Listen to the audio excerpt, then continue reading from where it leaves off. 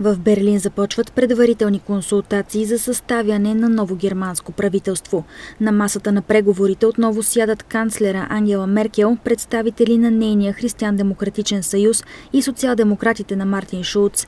На дискусиите ще присъства и посестримата партия на ХДС Християн-социален съюз на Хорст Зейхофер. Заедно те ще се опитат да формират отново голямата коалиция, която управляваше Германия в периода 2013-2017 година.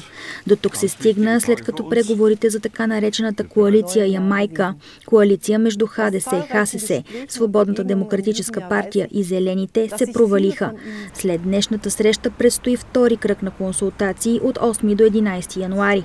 Не по-късно от 12 януари трябва да стане ясно дали партийните лидери ще препоръчат започването на официални коалиционни преговори.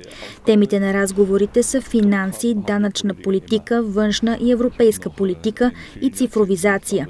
От изборите минаха три месеца, а малцина експерти очакват да бъде съставено правителство преди март.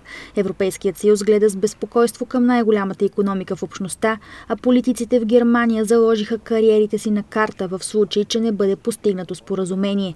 За първи път от Втората световна война Германия е без работещо правителство за толкова дълъг период.